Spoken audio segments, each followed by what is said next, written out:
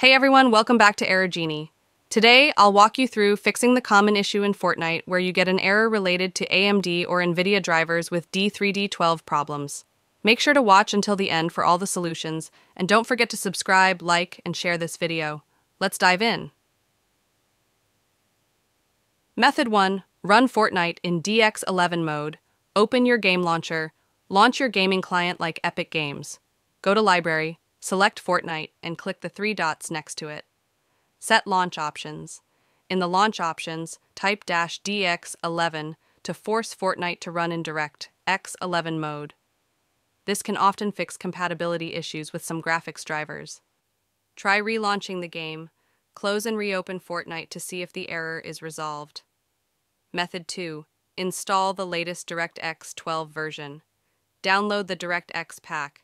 Check the description box for a download link to the latest DirectX files. Extract and run the installer.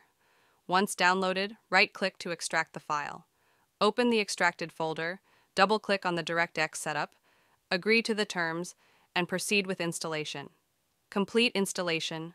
After installing, restart your PC to apply changes. Now try running Fortnite again. Method 3. Use display driver, uninstaller DDU. If the error persists, reinstalling your graphics drivers can help. Disable automatic driver. Updates. Go to settings then. System.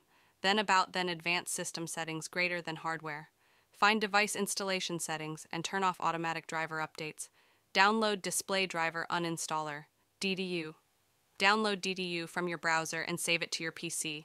Run DDU in safe mode. Restart your computer in safe mode and open DDU. Select GPU as the device type, then choose Clean and Restart to uninstall all graphics drivers. Reinstall an older driver version. For AMD, go to AMD's official site, search for your GPU model, and select an older version, such as 24.71. For NVIDIA, go to NVIDIA's official site, enter your GPU model, and download version 56.70.